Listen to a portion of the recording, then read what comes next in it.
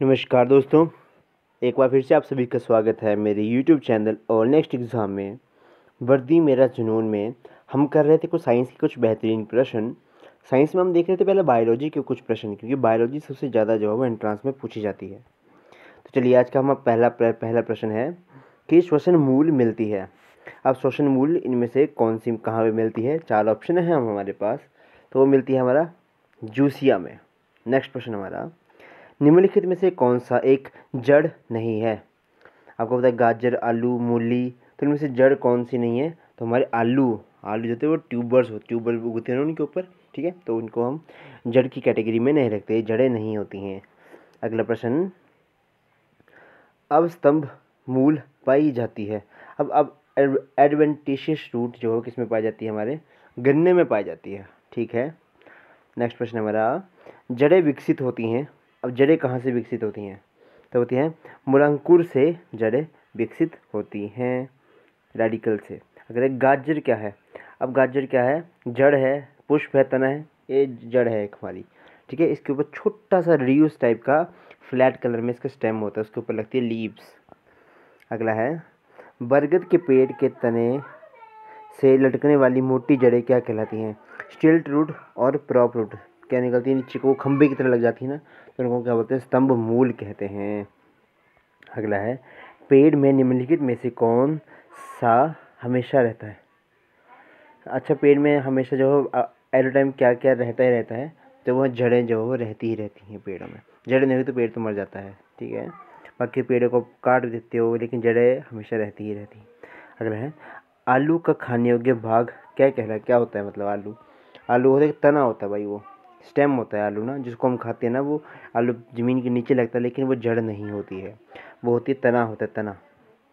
चलिए अगले प्रश्न देखते हैं। चलिए अच्छा प्रश्न है अगला। नागफणी में प्रकाश संश्लेषी कार्य होता है। अब नागफणी होती क्या है? पहले ये तो पता होना चाहिए, ठीक है?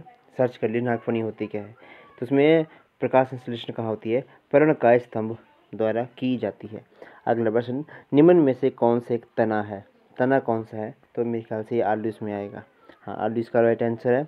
आलू है इसका आंसर अगला है, आलू भूमिगत रूपांतरित तना होता है, जिसमें क्या है? आलू में क्या होता है? कंद होता है, कंद, जिसे कहते, कहा जाता है, कंद कहा जाता है भाई। अच्छे क्वेश्चन है ये, ठीक है। अगला है, हल्दी के पौधों का खाने योग्य हिस्सा कौन सा होता है? अब हल्दी जो हम खाते हैं तो वो कहाँ लगती है? ज़मीन के नीचे लगती है। लेकिन वो क्या होती है? वो प्रकंद होती है। कंद नहीं होती, प्रकंद होती है।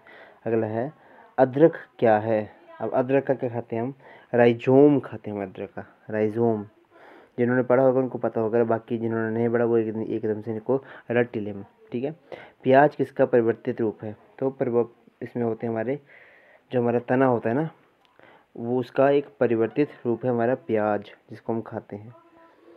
अगला है वे पौधे जिनमें कभी पुष्प नहीं बनती, क्या कहलाते हैं? अच्छा प्रश्न है ये। उसमें होते क्रिप्टो गेम्स कहलाते हैं वो। अगला प्रश्न, संसार का सबसे बड़ा पुष्प किसके द्वारा उत्पन्न होता है? Rafflesia? Yes. Rafflesia is the right answer. Rafflesia के द्वारा ही उत्पन्न होता है। अगला संसार का सबसे छोटा पुष्प कौन सा है? तो आएगा वुल्फिया। वुल्फिया सबसे छोटा पुष्प है। अगला है, जीवन चक्र की दृष्टि से पौधों का सबसे महत्वपूर्ण अंग कौन सा होता है?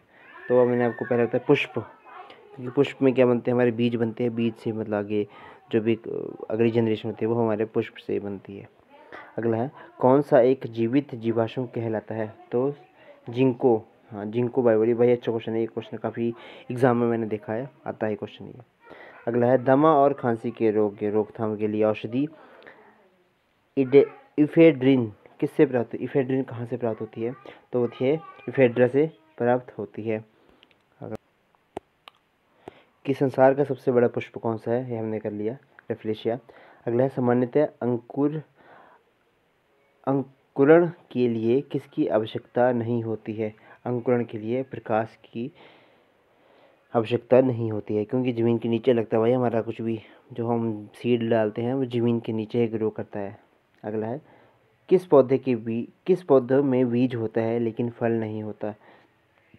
बादाम, साइकस, मूंगफली ईख? तो साइकस।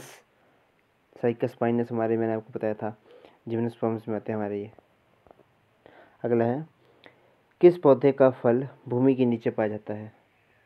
मूंगफली, जो वो हमेशा ज़मीन के नीचे लगती है। नारियल का खाने योग्य भाग कौन सा होता है? तो होते हैं भ्रूण पोष, एम्ब्रियो।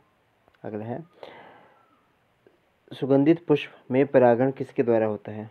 तो पक्षी आते हैं, कीट पतंगे आते हैं। कीट आते हैं भाई, वो अट्रैक्ट होते हैं उसकी गंध की तरफ़ और वो परागण यानी कि पोलिनेशन कर देते हैं। अगला है अनिक्षेक जनन प्राय किसमें दिखाई देता है? तो ये किसमें दिखाई देता है? अंगूर में।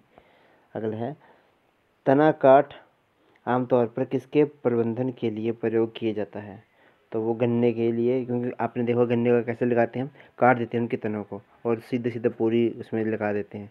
और वही पे वही जो है वो ग्रो करके गन्ने का पेड़ बना देता है। अगला प्रश्न, निम्न में से एक की खेती पौधे का प्रतिरोपण करके की जाती है तो किसमें क्या होती है इसमें?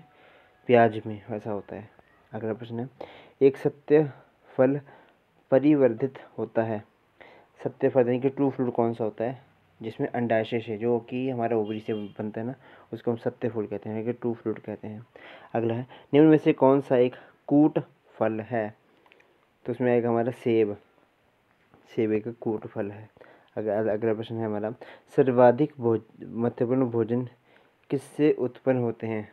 तो फलों से उत्पन्न होते हैं हमारे मैक्सिमम तो ये थे आज के हमारे कुछ महत्वपूर्ण प्रश्न।